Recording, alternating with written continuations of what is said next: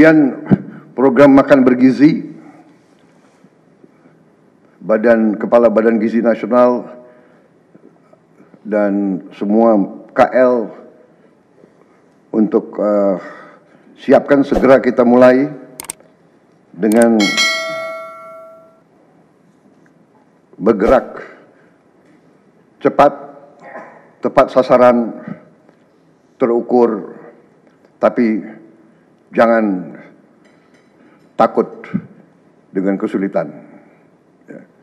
Saya masih mendengar beberapa tokoh meragukan kemampuan kita untuk laksanakan itu.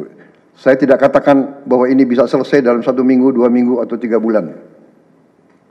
Tidak ada di antara kita yang punya tongkat Nabi Sulaiman. Tapi kita bisa berhitung, kita bisa mengelola, kita bisa alokasi dana, kita bisa kerahkan sumber daya. Dan kita akan mencapai target yang kita tentukan.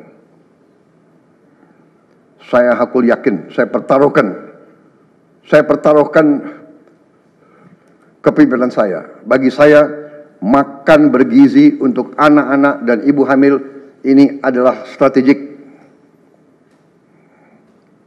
Yang tidak mendukung hal ini, silahkan keluar dari pemerintah yang saya pimpin.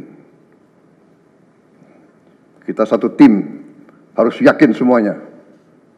Ini bagian daripada rencana kebangkitan bangsa Indonesia.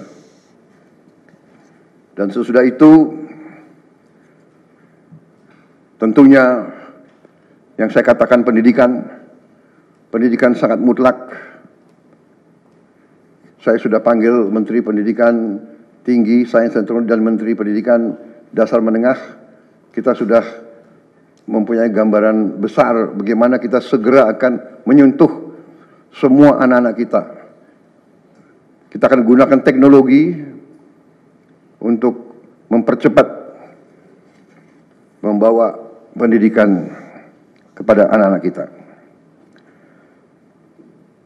Dan ini sesudah itu tentunya kesehatan juga penting.